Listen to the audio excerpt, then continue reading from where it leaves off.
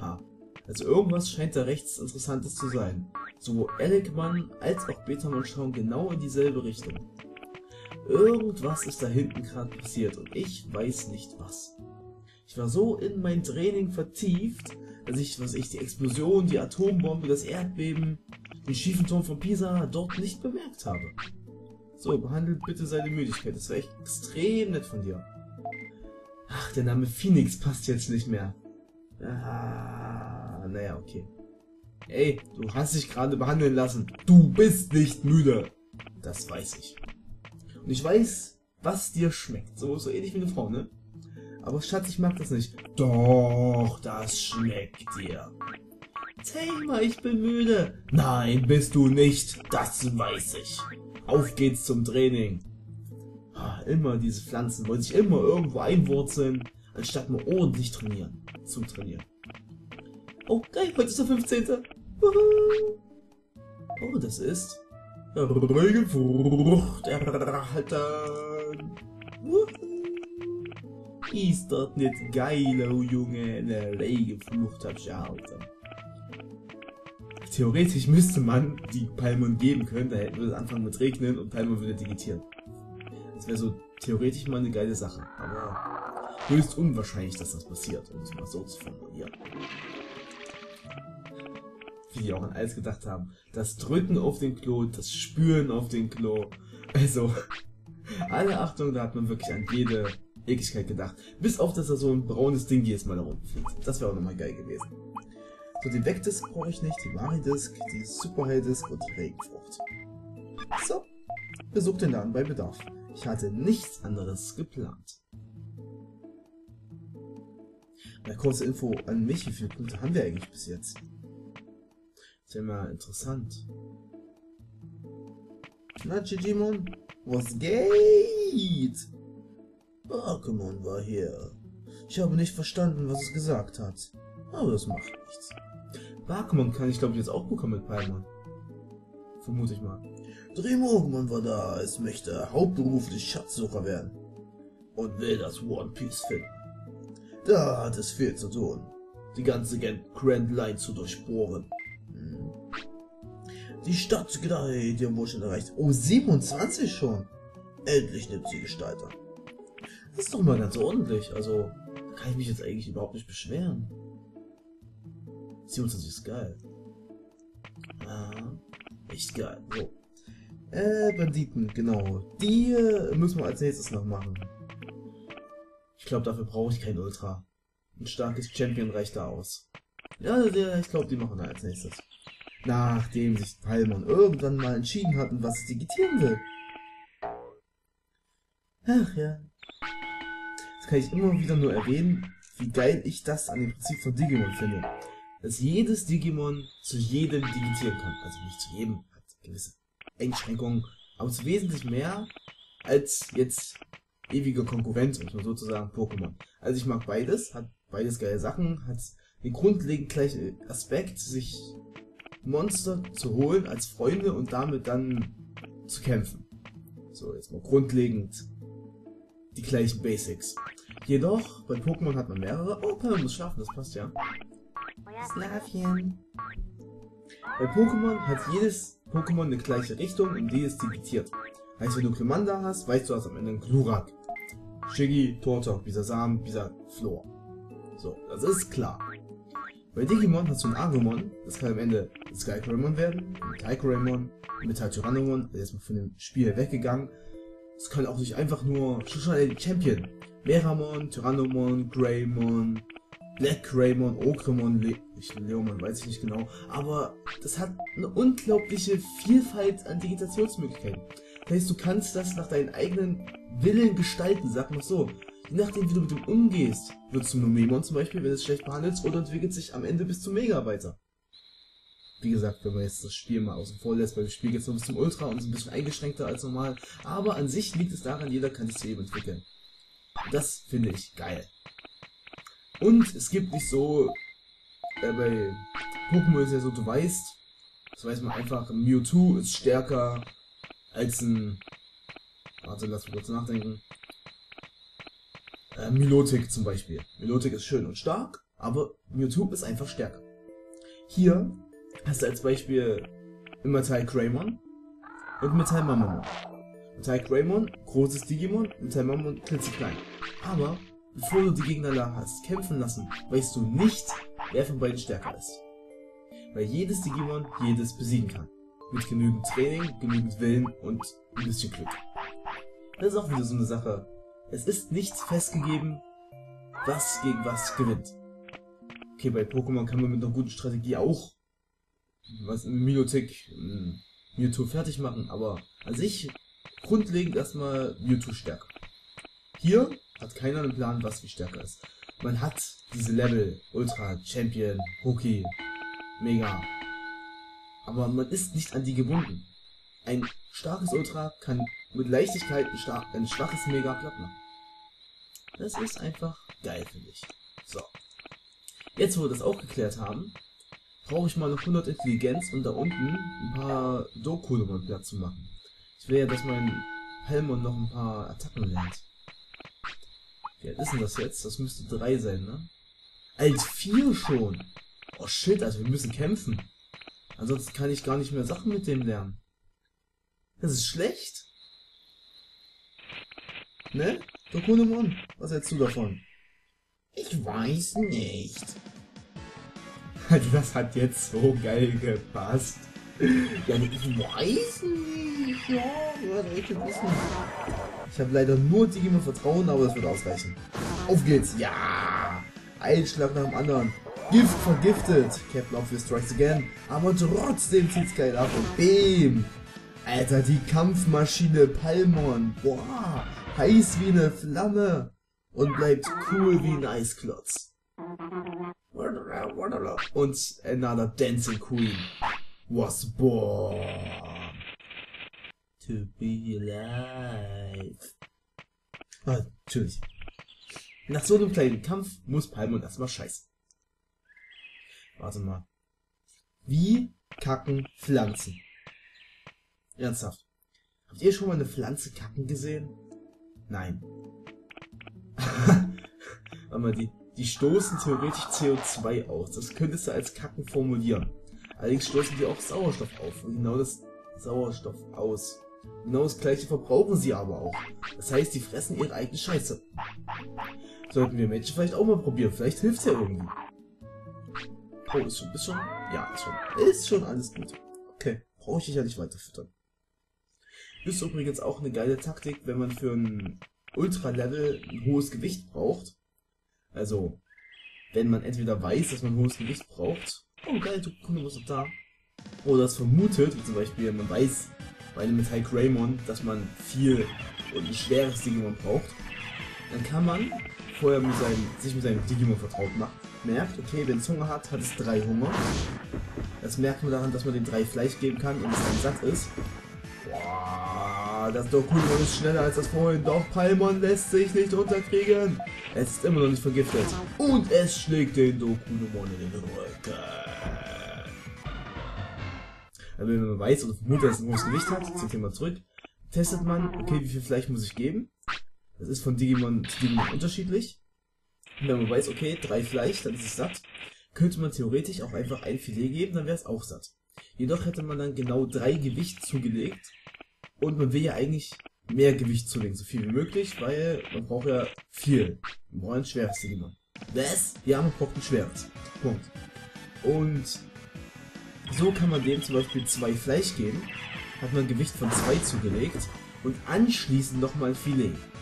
Das Digimon ist nicht überfressen. Es hat ein Gewicht von 5 zugelegt, das addiert sich dann im Nachhinein und hat genauso schnell Hunger, als wenn man es normal füttern würde. Das heißt, so erhöht sich das Gewicht Schritt für Schritt, ohne dass sich die Disziplin oder das Glück verringert. Das ist so eine Taktik vom Sinu, wenn man mal ein schweres Digimon braucht. Habe ich selber schon oft angewandt, wurde mir mal von meinem Cousin erzählt. Und seitdem benutze ich die eigentlich regelmäßig, wenn ich es brauche. Ach Mann, ich dachte schon, es wäre was. Ah, schade. Allgemein, die ganzen Digimon im Wald hier haben doch Giftattacken, oder? Könnte man doch mal sich ein paar Heildisk schnappen und so ein bisschen rumschnaken, oder? Vorher jeden Wert auf 100 bringen, ihr kennt ja meine Devise. Aber sich könnte man jetzt mal ein bisschen rumschnappen. Ja, ich glaube, das mache ich. Allerdings ist Palmon schon fünf Tage alt, das heißt, ich muss mich echt beeilen. Also vier Tage, morgen fünf. Ach, das war schon 100. Okay, dann machen wir noch Tempo voll. Weil langsam wundere ich mich, dass es noch nicht digitiert. Patamon ist genau am Tag 5, äh, am Tag 3 digitiert. Palmon zeigt noch keine Regung dazu. Das ist schade. Extrem schade. Wenn ich jetzt zum Beispiel nochmal ein Fleisch gebe, habe es eins gegeben. Ich gebe jetzt zwei. Dann ist es satt. Deswegen habe ich vorhin ein Fleisch gegeben, dann Filet und das Gewicht hat sich erhöht. Problem ist nämlich, dass wenn man viel trainiert, dass dann das Gewicht regelmäßig sinkt. Weil wenn man Workouts macht, dann sinkt das Gewicht. Das ist wie im echten Leben halt. Wenn man scheißen geht, sinkt das Gewicht auch. Das heißt, Essen ist die einzige Möglichkeit, das Gewicht zu erhöhen. Also ich gebe hier voll die Lebenstipps, also für alle, die zunehmen wollen, Essen ist die einzigste Möglichkeit, das Gewicht zu erhöhen. Captain Obvious strikes again, aber ja, man muss halt eben sagen. Sonst wissen es manche nicht. Und das, oder halt eben digitieren, das steigt auch, weil man wird ja größer. Hm. Aber grundsätzlich erstmal nur essen. Bist du müde? Nein. Und deswegen muss man damit halt eben gut hantieren, um am Ende das zu kriegen, was man will. Alter, ich glaube, ich kann in Digimon das Gewicht besser mit dem Gewicht besser umgehen als mit als im wahren Leben. Zumindest wiegen meine Digimon hier immer. Die sind alle untergewichtig bei mir. Das ist das Problem, weil ich zu viel trainiere. Aber ja, was getan werden muss, muss halt eben getan werden. Da kann man nichts gegen unternehmen. Ich sehe gerade, dass ich bei meinem Mixer im, äh, im Computer, wo die Lautstärke sind, drei Balken habe, die nach oben gehen. Das eine ist ohne Frage der Line-In-Stecker, den ich benutze. Das andere, ja, behandelt für seine Müdigkeit. Was ist denn das andere? Ach, Aufnahme läuft. Ah, ja, das erklärt so einiges. Das ist logisch. Ja, ja, geht klar. Was auch eine Möglichkeit ist, ähm, Digimon abnehmen zu lassen oder zuzunehmen, ist, ähm, wenn es hier gerade Hunger hat und bald schlafen will. Es gibt entweder die Möglichkeit, also relativ oft passiert es ja, das Digimon hat Hunger, es muss aufs Klo und es muss schlafen. Wenn man es jetzt einfach schlafen legt, ist sowohl Hunger als auch Scheißen weg. Das ist praktisch. Jedoch kann man auch erst was zu essen geben. Ähm, und es dann schlafen legt, dann liegt da zwar ein Scheißhaufen, der liegt auch so, wenn man es schlafen legt und es scheißen muss, aber es geht nicht auf diese Kackleiste drauf, die dann eine Zuckermon-Entwicklung hervorruft. Und ich weiß nicht, wie es in dem Gewicht ist, das habe ich mir jetzt noch nicht angeguckt, aber ich glaube, das bleibt auch relativ stabil. Es geht eigentlich hauptsächlich darum, dem Digimon vor dem Schlaf Essen zu geben oder nicht. Je nachdem verändert sich dann das Gewicht. Hm. Willkommen bei Sino Watchers. Hier erfahren Sie Tipps, wie Sie Ihr Gewicht halten oder erhöhen können. Ganz wie Sie wollen. Ach man, ich wollte noch einmal trainieren. Ich wusste, dass das Ding jetzt schlafen will. Was sagt denn das Ding? Meine Pflanze. Mein Bonsai. Bonsai? Äh, so ähnlich sind doch diese kleinen Bäume, die nicht wachsen. Oder zumindest nicht sehr stark wachsen. Bonsai, ne? Ich wusste, dass ich einen Palmen bekomme, hätte ich es Bonsai genannt. Von mir, von mir aus auch Bonsai, weil es geiler klingt. Bonsai, Uncle Okay. Noch 100 IQ. Vollkraft. Demon gehorcht. So, jetzt brauche ich noch 100 MP. Damit ich jeden Wert auf 100 habe und somit jede Digitation möglich ist. Ah, noch einmal. Dann haben wir es auf 1000. Ich meine natürlich bei NP und LP, wenn ich 100 sage, immer 1000. Ich bin da so typisch Frau. Ich meine nicht das, was ich sage. Ich sage nicht das, was ich meine. Könnt ihr drehen und wenden, wie ihr wollt. Jetzt müsste sich digitieren. Nein! Okay, Palmon, du bist und bleibst ein Rätsel. Theoretisch digitieren die am Tag 5 immer relativ schnell, vor allem wenn man jeden Wert auf 100 hat müsste das Digimon eigentlich gerade dazu strotzen zu digitieren. Die so denken, oh Alter, jeder Wert auf 100. Ich bin bereit zur Entwicklung. Aber nein. Mein Palmon denkt sich, yo, ich schlag mal Wurzeln auf dem Rookie-Level. Macht Spaß. Das ist so chillig. Das ist eigentlich voll der Chiller, ganz ehrlich. So, andere Digimon denken, Alter, wir müssen stärker werden, wir müssen trainieren, wir müssen digitieren, um die Stadt zu retten. Palmon denkt sich, ist doch alles. Leute, was ihr habt. So ein bisschen rumchillen. Was soll's? Fuck with me if you want. I'm gonna chill all my life. Das haut schon richtig rein, ne? Das ist prügelt die Dinger hier mit Leichtigkeit. Das sollte es auch, ansonsten wäre es ziemlich, ziemlich bitter. Ja, stark! Dancing Queen, young and sweet and the rookie. Oh yeah, you can dance, Was sagen die eigentlich immer? Ich sagte immer try oder so, aber ich weiß nie, was die, was aber da so wirklich singt. Habe ich keinen Plan. Das ist so das typische Kind-Englisch. So, volle Kraft voraus, oh nein. Palmon, sei nicht vergiftet. Hab ich was dagegen? Oh, perfekt. Sei nicht vergiftet, Palmon. Hau ihn in den Arsch. Sehr schön. Und jetzt mach ihn fertig. Habt ihr eigentlich gerade diese geile Animation von der Wahrheit gesehen? Die war doch einfach episch, oder? Also, das muss man im Spiel lassen. Es hat schon so richtig geile Dinger da drin. Yay. Ich habe wieder 520 mit. Jetzt können wir uns erstmal Heildisk holen und MP-Disk eine Heildisk und eine MP-Disk, um genau zu sein. Und dann gehen wir ein bisschen weiter runter und mischen mal die Red Vegimon ein bisschen auf. Nein, warte. Das eine Red Vegimon, das rechts sind ja wahrscheinlich Modoki Betamon. Leider. Och, jetzt lass mich doch hier durch, Mann, Bakemon, du bist ein Geist, ich müsste doch nicht durchlaufen können. Das hätten sie mal geil machen können. Hier mal, erster Verbesserungsvorschlag meinerseits. Man kann durch Bakemon durchlaufen. So, Jo, kriege ich sogar zwei Heildisk und einen MP-Disk holen. Das läuft doch. Ja. Danke, bitte weitermachen.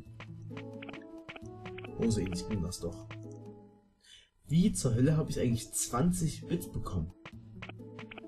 Was hat so komisch gekostet? Im Laden ist ja alles gerade. Also 100, 300, 105, 100, 300, 200, 500, so, das ist gerade. 150 ist nicht ganz so gerade. Zumindest nicht so gerade, wie ich das meine. Ja, ich habe eine andere Definition von gerade als ihr. Lasst mich. Wie habe ich denn 20 bekommen? Oh, das Kundemon ist wieder ein bisschen schneller. Bäm, aber das interessiert Palmon einen feuchten Dreck. Nein, warte, feuchter Dreck. Pflanzen lieben Wasser. Einen trockenen Dreck. Und Palmon macht es platt. Ohne Probleme. Sehr schön. Ja, stark. Dancing Queen. Ey, eine Marke ist verloren. Plus minus null, würde ich mal meinen. Es digitiert zwar nicht, aber es mischt den Heimatwald ordentlich auf. Es ist fünf Tage alt. Alter Palmon, willst du nicht mal langsam daran denken zu digitieren? Das wäre zumindest so meine Vorstellung, wenn man fünf Tage alt ist als Rookie-Level, wenn man so langsam sich mal entscheidet für ein beliebiges Aussehen der nächsten Digitationsstufe, bitte kein Numemon und auch kein Sukamon. Nanimon von mir aus, aber eigentlich will ich das auch nicht so wirklich. Ich habe zwar vorhin gesagt, dass es ganz geil wäre, aber eigentlich will ich das nicht. Das war bloß so gesagt, damit du es dann nicht machst. Moment mal. Ja, ja, ja, ich warte doch schon. Jetzt darfst du mich töten. Also nein, darfst du nicht. Ich darf dich töten. So ist richtig. Battle. Let the battle begin. Und den Angriff will ich. Der gerade 200 bei Betamon abgezogen hat. Shit, ich darf von dem nicht getroffen werden. Aber Palmon geregt. Scheiße, geiles Gift hat gerade Betamon umgebracht. Und Palmon blockt den Angriff. Oh, das ist mein Palmon. Das ist es, wie es lebt und lebt. Es verfolgt sein Opfer bis zum älteren Ende könnte ruhig mal stehen bleiben. Oh, jetzt, jetzt, Palmon schlägt zu, auf den offenen Wand ins Face. Ja, es wird zweimal zu schlagen. Es blockt das nächste Mal und schlägt den Gegner wieder zurück. Red Vegemus ist vergiftet. Es hat keine Chance mehr gegen Palmon. Es wird grausam misshandelt. Komm schon, ich will Finish machen. Dieser Schlag hat gesessen, doch wird er irgendetwas bringen? Nein, Palmon beendet den Kampf zu seinen Gunsten. Ja, stark! Dancing Queen. Och Mann, ich habe die Fähigkeit nicht gelernt. Schade. Gut gemacht, Palmon, by the way.